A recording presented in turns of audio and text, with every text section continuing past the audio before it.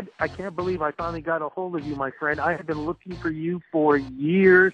The last time I saw you was on television. I know you were on CHCH. What has been going on for the last couple of years? You are definitely missed. You know you got a lot of fans that always look out for you.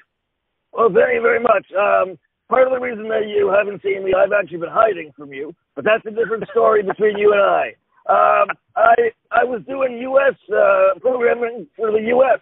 on the on the internet, doing digital stuff because uh, you know Americans uh, somehow seem to uh, have appreciated me more than Canadian broadcasters did. But doing my own thing now with uh, Fun the FU Network, which uh, we launched our FU Politics division in, in summer. Immediately jumped into the top 20 on iTunes. Then 10 days later, top five. Then we were number one and uh, seven different series. Now there's ten different series about uh, politics, and it's if you like me, you'll like these shows because unlike me, these shows are the rules are you have to be civil and respectful, but there also has to be a sense of humor and a sense of grounding because we lost that. Canadian media has uh, lost that sense of self-awareness, that sense of connectivity that brings the country together. It's all a bunch of mainstream operations trying to compete with online clickbait, and they can't because they have different business models. And so the whole thing is just a crap show.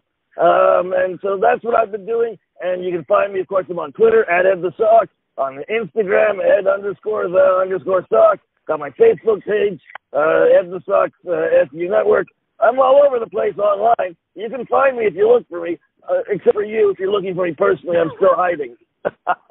well, look, my friend, do you miss the interviews we used to do? Because I know I, I I miss doing that. I also miss what you used to do at the end of the year with your video schmoz and used to talk about those music videos and really lay it out the way it really should be. Your interviews and things like that. Do you miss doing stuff? I don't miss talking to boy bands and pop stars. No, not really. Uh, I think I did my time. That's like the green, uh, you know, like like uh, a prison term. Um, but uh, I I do miss media, mainstream media, being honest and direct, being allowed to be honest and direct. People on it being allowed to be honest and direct. The industry has shrunk so much. People are so afraid for their jobs that no nobody has the courage to have uh, to say what they really think or to uh, greenlight a show with someone who they really think. Except for CBC's 22 Minutes, which I will say had me on two two weeks in a row just before the holidays, uh, and they let me just be me. So uh, there's some obviously some people growing some testicles uh, in the mainstream media, and that's great. But I think it's also great that we've got the online uh, opportunity. So now I don't have to deal with layers of, of broadcasters and managers. Uh, I'm the I'm the manager, and uh, which is kind of scary because I have people working under me now. Uh, but you know, I'm enjoying doing that. I'm thrilled to be involved. We uh, uh, the Electric Circus Experience, where we're uh, taking the uh, Canada's you know original national dance show that everybody around the country would wa- watch TV and dance to the TV. And uh, Monika Deol was the original host. Uh, we're bringing it back as a uh, multi-camera, multi-platform uh, program, totally updated. But Monika is coming back out of semi seclusion to be the host. And me and Rick Campanelli will be there doing VJ type throws. There'll be a new speaker's corner, retro dance party, uh, C&C Music Factory is performing, the Real McCoy's performing. And uh, I'm just glad to be able to be bringing all that, that back, that, that energy, because the world is so dark now. Someone needs to be shining a flashlight, and that's us.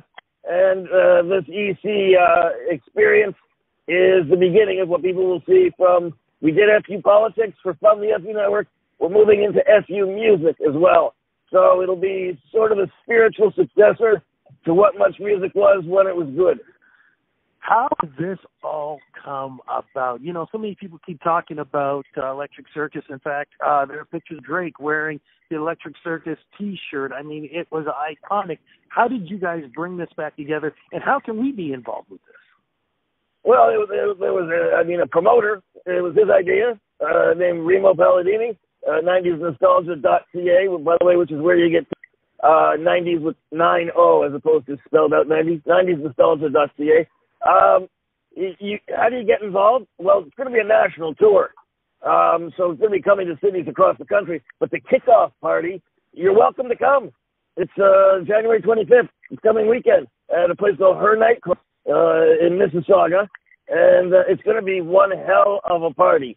So if you're not there, you're missing the rebirth of retro. This is this is retro reimagined, and uh, we're not just trying to redo what was done before.